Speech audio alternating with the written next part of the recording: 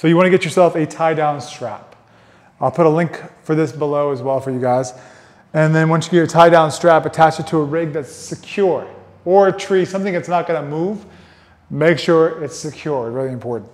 Then get your strap and you're gonna place it right behind your Achilles, more or less. So you're gonna step your leg back into this, right on your Achilles, and you have to find how far you need to go.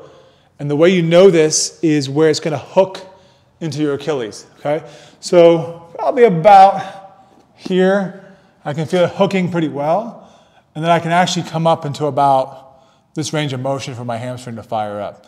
Okay, so when I get ready, my hands are down, and I'm gonna start by tucking my glutes underneath me, my abs are on. I'm gonna do a violent drive, so a hard drive into the rig, and I have to imagine that I'm pulling the rig down towards my body. So I gotta pull really hard here. So strong pull, back down. Hard pull until I feel my hamstring, back down. Hard pull, back down. And I hold, I really hold until I feel my hamstring almost cramp. So I pull really hard. And I don't give up until I feel it.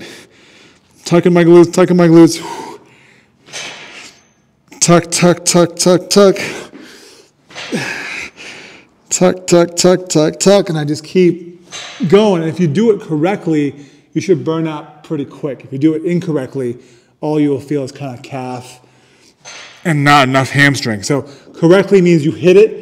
When you hit it, keep pulling towards you. Don't stop. Tuck your glutes as you're there the entire time. Get your abs on.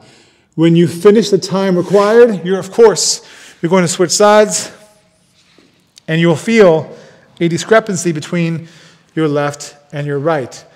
This is very normal. Now, when most people do a pulse, a pulse drive like this, they may get concerned if something feels off. But don't worry, usually it's because we're not pushing hard enough or, or curling hard enough on the pattern that we don't feel the right thing. So when I do it, I pull, I tuck, I wait for my hamstring. There it is. I feel it. Now I can anchor into that feeling literally. I know what it feels like. There's a hamstring. There's a hamstring. And the stronger you hit, and the more you feel your hamstring, the middle belly of your hamstring, the better you're able to connect each subsequent rep.